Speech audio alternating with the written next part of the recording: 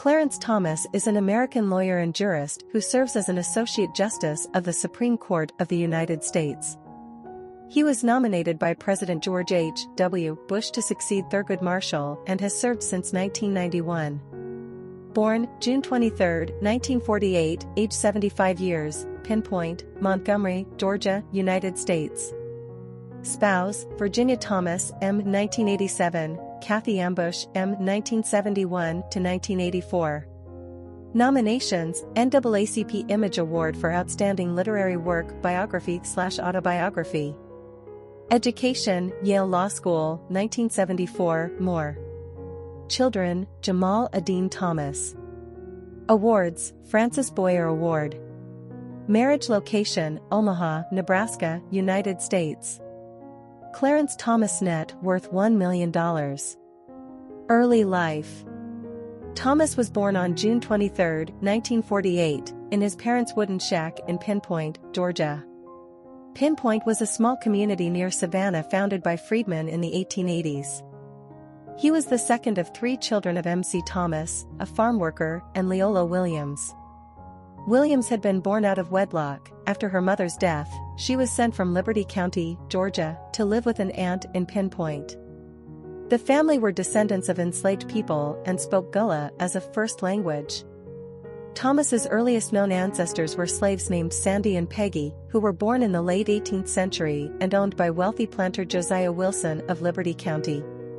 Thomas's older sister, Emma, was born in 1946, and his younger brother, Myers, in 1949.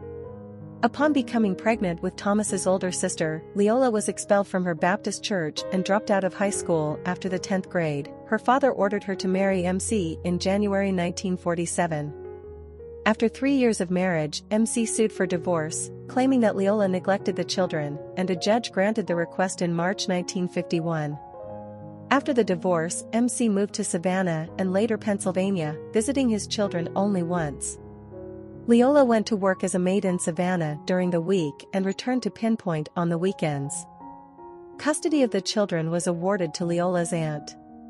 When her aunt's house burned down in 1955, Leola took her children to live with her in the room she rented in a tenement with an outdoor toilet in Savannah, leaving her daughter with the aunt in Pinpoint. She asked her father, Myers Anderson, for help. He initially refused but agreed after his wife threatened to throw him out. Thomas and his brother went to live with Anderson, his maternal grandfather, in 1955 and experienced amenities such as indoor plumbing and regular meals for the first time. Despite having little formal education, Anderson had built a successful business delivering coal, oil, and ice. When racial unrest led to widespread protest and marches in Savannah from 1960 to 1963, Anderson used his wealth to bail out demonstrators and took his grandchildren to meetings promoted by the NAACP. Thomas has described his grandfather as the person who has influenced his life the most. Anderson converted to Catholicism and sent Thomas to be educated at a series of Catholic schools. Thomas attended the predominantly black St. Pius X High School in Chatham County for two years before transferring to St. John Vianney's Minor Seminary on the Isle of Hope, where he was the segregated boarding school's first black student. Though he experienced hazing, he performed well academically. He spent many hours at the Carnegie Library, the only library for blacks in Savannah before libraries were desegregated in 1961. When Thomas was 10 years old, Anderson began putting his grandsons to work during the summers, helping him build a house on a plot of farmland he owned, building fences, and doing farm work. He believed in hard work and self-reliance, never showed his grandsons affection, beat them frequently according to Leola, and impressed the importance of a good education on them. Anderson taught Thomas that all of our rights as human beings came from God, not man, and that racial segregation was a violation of divine law. Personal life. Family. In 1971, Thomas married Kathy Grace Ambush. The couple had one child, Jamal Adine, born in 1973, who is Thomas's sole child. Thomas and his first wife separated in 1981 and divorced in 1984. In 1987, Thomas married Virginia Lamp, a lobbyist and aide to U.S. Representative Dick Armey. In 1997, they took in Thomas's six-year-old great-nephew, Mark Martin Jr., who had lived with his mother in Savannah public housing. Since 1999, Thomas and his wife have traveled across the U.S. in a motorcoach between court terms. Virginia Ginny Thomas has remained active in conservative politics, serving as a consultant to the Heritage Foundation and as founder and president of Liberty Central. In 2011, she stepped down from Liberty Central to open a conservative lobbying firm, touting her experience and connections, meeting with newly elected Republican representatives and calling herself an ambassador to the Tea Party. Also in 2011, 74 Democratic members of the House of Representatives wrote that Justice Thomas should recuse himself on cases regarding the Affordable Care Act because of appearance of a conflict of interest based on his wife's work. The Washington Post reported in February 2021 that Ginny Thomas apologized to a group of Thomas's former clerks on the email list listserv Thomas Clerk World for her role in contributing to a rift relating to pro-Trump postings and former Thomas clerk John Eastman, who spoke at the rally and represented Trump in some of his failed lawsuits filed to overturn the election results.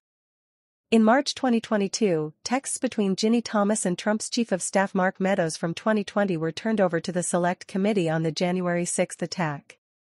The text showed Ginny Thomas repeatedly urging Meadows to overturn the election results and repeating conspiracy theories about ballot fraud. In response, 24 Democratic members of the House of Representatives and the Senate demanded that Thomas recuse himself from cases related to efforts to overturn the results of the 2020 presidential election and the January 6 attack at the U.S. Capitol on the grounds that Ginny Thomas's involvement in such efforts raised questions about his impartiality, an April 2022 Quinnipiac poll found that 52% of Americans agreed that, in light of Ginny Thomas's texts about overturning the results of the 2020 presidential election, Thomas should have recused himself from related cases. Early legal career With no job offers from major law firms, Thomas took a position as an associate with Missouri Attorney General John Danforth, who offered him the prospect of practicing what he liked. Thomas moved to St. Louis to study for the Missouri bar, and was admitted on September 13, 1974. He remained financially destitute even after leaving Yale, trying unsuccessfully on one occasion to make money by selling his blood at a blood bank, and hoped that by working for Danforth he might later acquire a job in private practice. From 1974 to 1977, Thomas was an Assistant Attorney General of Missouri, the only African American member of Danforth's staff. He worked first in the office's Criminal Appeals Division and later in the Revenue and Taxation Division. Thomas conducted lawsuits independently, gaining a reputation as a fair but controversial prosecutor. Years later, after he joined the Supreme Court, Thomas recalled his position in Missouri as the best job I've ever had. When Danforth was elected to the U.S. Senate in 1976, Thomas left to become an attorney in Monsanto's legal department in St. Louis. He found the job unsatisfying, so left to rejoin Danforth in Washington, D.C., as a legislative assistant. From 1979 to 1981, he handled energy issues for the Senate Commerce Committee. Thomas, who had switched his party affiliation from Democratic to Republican while working for Danforth in Missouri, soon drew the attention of officials in the newly elected Reagan administration as a black conservative. Pendleton James, Reagan's personnel director, offered Thomas the position of Assistant Secretary for Civil Rights at the U.S. Department of Education. Initially reluctant, Thomas agreed after Danforth and others pressed him to take the post.